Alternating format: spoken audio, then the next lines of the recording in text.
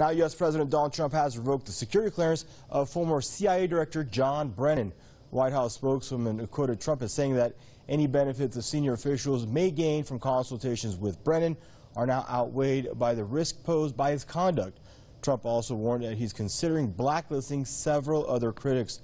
In a tweet, Brennan reacted to Trump's decision, saying move is part of a broader effort by the president to suppress the freedom of speech and punish his critics. He added he will not relent and will continue to speak out.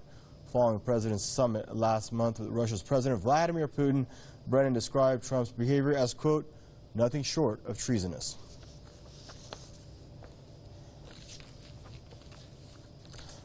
Joining us now out of San Francisco, California is Mr. Scott Bennett, former U.S. Army Psychological Warfare Officer. Hello, Scott. It's a pleasure to have you back on the program. Now, Scott, uh, correct move or misstep? Your thoughts, please.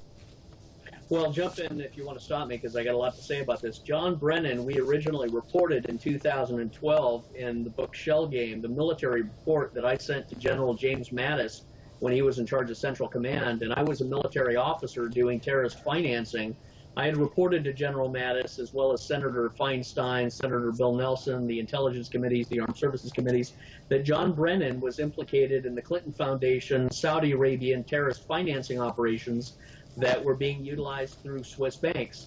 Uh, all of that is available on shellgamewhistleblower.com. But John Brennan was one of the key figures that we adamantly requested, Brad Birkenfeld and myself, who was a Swiss bank intelligence asset, uh, uh, we had recommended that John Brennan be, be examined and thoroughly investigated by the Congress. Uh, we even sent it to, uh, I mean, a variety of people in the military, and it was never done. John Brennan was the national security advisor under Obama.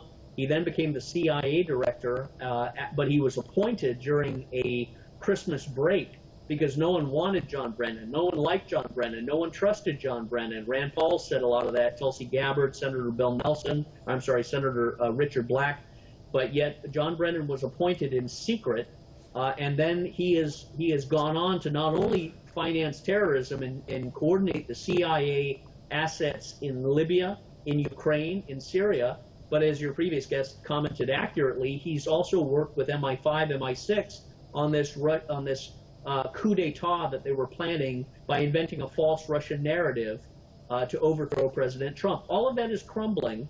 Uh, it, the only pity is that President Trump didn't do this the moment he got into office.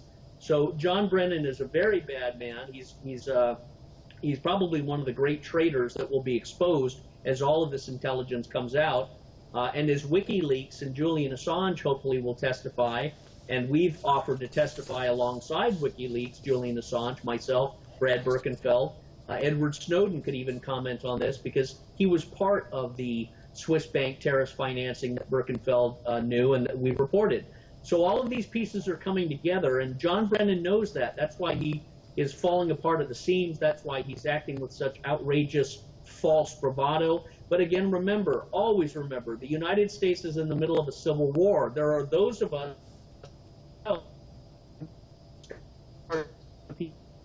come on Press TV there are those of us who want peace and stability and better relationships with Iran and Russia, and we've worked tirelessly to do that. I was in Iran a couple months ago, and I've, I've passionately brought back my experience with the Iranian people, culture, media, and academics to American politicians, to the White House, and said, President Trump, please stop taking the advice from people uh, that are in the same league as John Brennan. These people like Nikki Haley and, and uh, John Bolton and others are undermining the security of the national uh, of America. They're undermining President Trump's own uh, presidential mandate. The American people elected President Trump to get us out of the Middle East wars, not amplify them.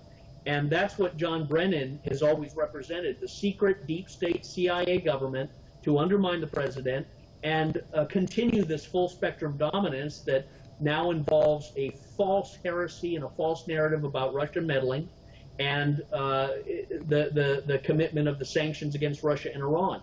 Now, Iran has a very powerful position because they can come in, and remember, an egomaniac and someone that is insecure is also a bully, but bullies are the easiest people to persuade and uh, manipulate for positive purposes, and that's what Iran can do with President Trump. They can come alongside and they have to speak to him. They have to constantly fill his ears with their truth in order to drown out the lies that are being put into his other ear uh, from people like Bolton and Haley. That's the principle of successful uh, information operations, strategic communications, psychological warfare. You're always speaking to your opponent. You're always smiling. You're always giving a, a uh, almost a martial art jujitsu communication interplay. You can never be quiet. You can never shut the doors. You can never retract and go silent because then the liars and the warmongers have a green light to fill the president's mind with confusion